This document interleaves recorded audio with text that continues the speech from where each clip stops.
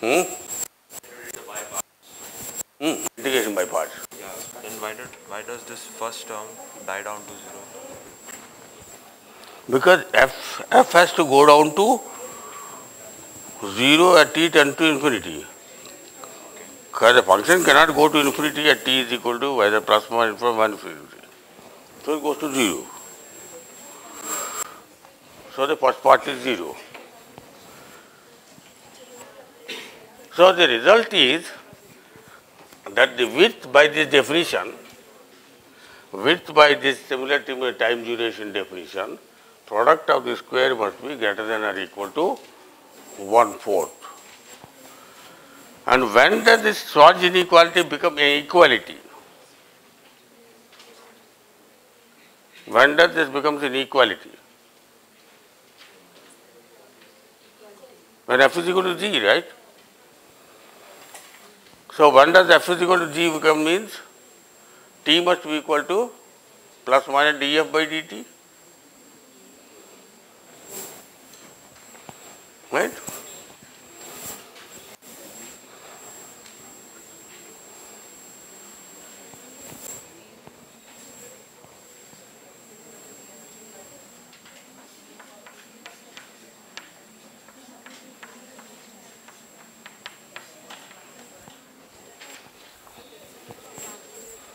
If you integrate on both sides, what do you get?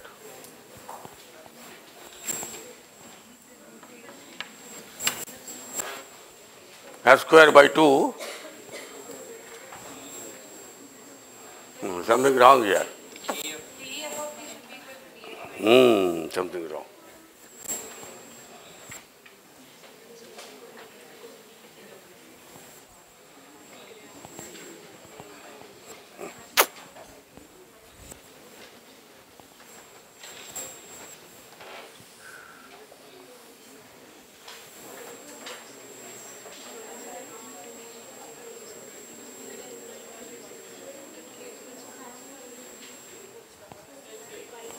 When t t times f t is equal to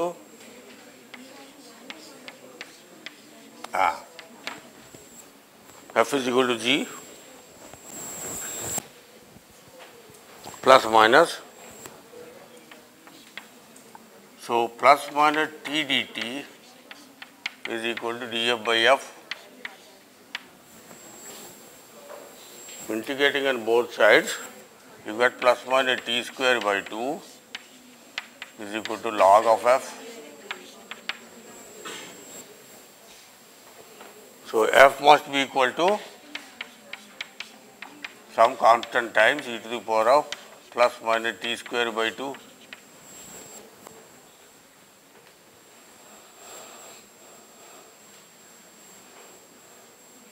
Plus is not allowed. Why? Because the function grows to infinity as t goes to infinity. So, such functions do not have finite energy. So, plus is not allowed.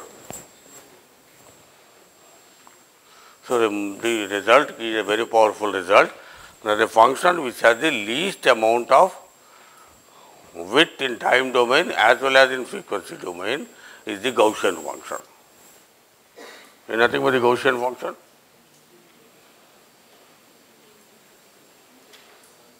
Because you have to make area under this must be equal to 1 according to our definition here. So, this will be equal to 1 by square root of 2 pi. Constant must be equal to. So, this is the function which has the minimum amount of width both in frequency domain as well as in the time domain. Any other function has a value of the product larger than half. So, this tells us clearly that there is no limitation on the time bandwidth product. I can have any arbitrary value of arbitrarily large value of time bandwidth product, there is no limitation. Only the minimum value is fixed and that is only by Gaussian signal. So, if I want for some reason a large bandwidth time bandwidth product which I said in the last class we require whenever we want to have resolution both in time as well as in frequency measurement then I would like to have signals which are having a large amount of bandwidth as well as a large amount of time duration. So, this theory tells you that there is no limitation. You can have all kinds of signals with any product of time bandwidth product as large as you want. So, this changed the whole thinking about in communication as well as radar and gave rise to new systems as I said high resolution radar in one case and the spectrum systems in communication came up because of this realization of this time bandwidth product being unlimited you can have any number you want. So, how do we do that? So, I want a large time bandwidth product.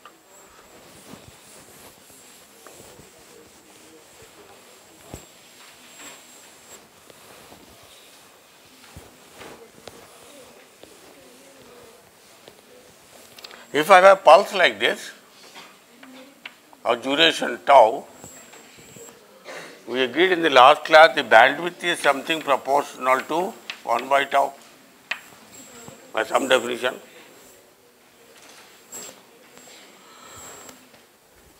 Now I want to increase the time bandwidth product. So if I want to increase the bandwidth, I may narrow it. So make the pulse very narrow. But I want to increase the time because pulse narrowing doesn't increase the time. So what I do is I take such pulses and go on stacking them.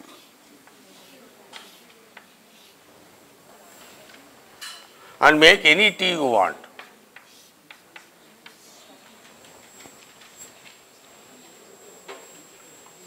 Okay.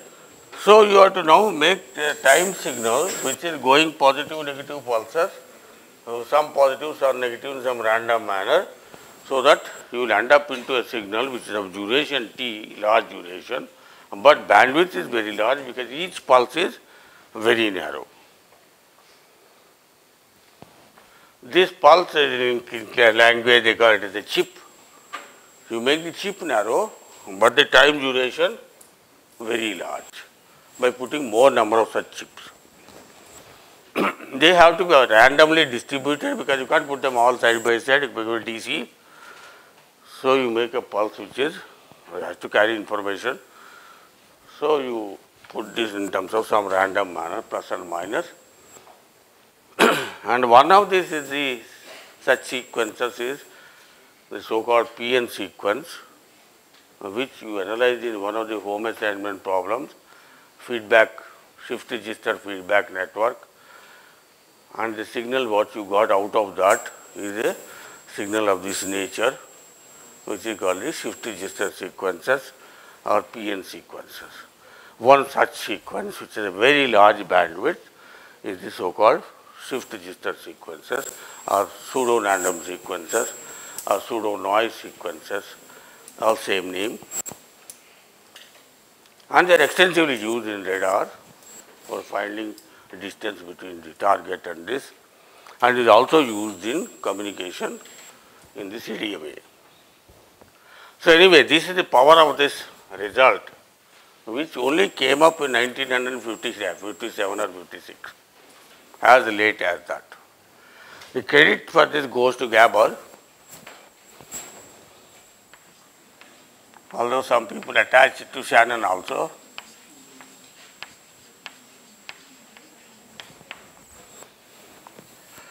Very simple proof,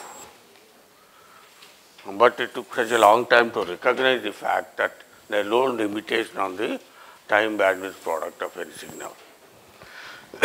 you know Gabor or you don't know Gabor? Gabor is a Nobel laureate from Imperial College London who got a Nobel Prize for the holography. He is the inventor of holography and he got Nobel Prize for that.